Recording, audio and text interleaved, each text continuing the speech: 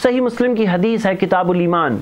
اللہ کے رسول محمد صلی اللہ علیہ وسلم نے فرمایا، ان بین رجلی و بین شرکی والکفری ترک الصلاح ایک شخص میں اور شرک اور کفر کے درمیان میں ایک چیز ہے، وہ ہے نماز چھوڑ دینا۔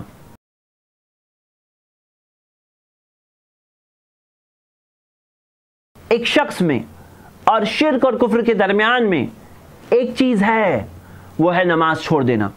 نماز چھوڑ دینا۔ کہ یعنی اگر کوئی شخص نماز چھوڑ دے، تو اس کے اور شرک اور کفر کے درمیان میں جو چیز تھی، وہ ہٹ گئی۔ اب وہ اینی ٹائم شرک اور کفر میں جا پڑ سکتا ہے۔ اب اس کے اور شرک اور کفر کے درمیان کا جو بیریئر تھا نا، وہ ہٹ گیا۔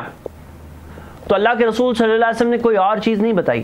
اب اس شخص اور شرک اور کفر کے درمیان میں جو دیوار تھی، جو بیریئر تھا، وہ ہٹ گیا۔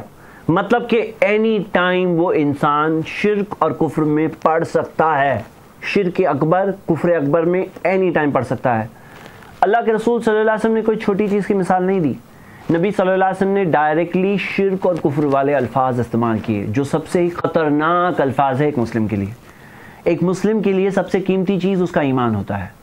اور اگر وہ کفر میں پڑ گیا، وہ شرک میں پڑ گیا مطلب ایمان سے خارج ہو گیا، نکل گیا باہر، اس سے زیادہ خطرناک الفاظ کیا ہو سکتے ہیں؟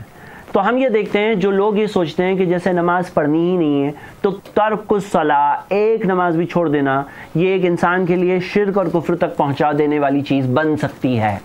اور یہی چیز کے تعلق سے نبی صلی اللہ علیہ وسلم نے وارننگ دی، اور یہی بات ہم اپنے تمام بھائیوں تک پہنچاتے ہیں۔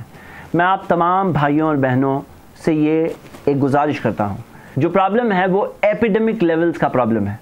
اب اس کے اندر اگر ہم تمام لوگ سلیوشن کا حصہ نہیں بنیں گے تو بہت مشکل ہے کہ علاج کیا جائے اس معاشرے کا۔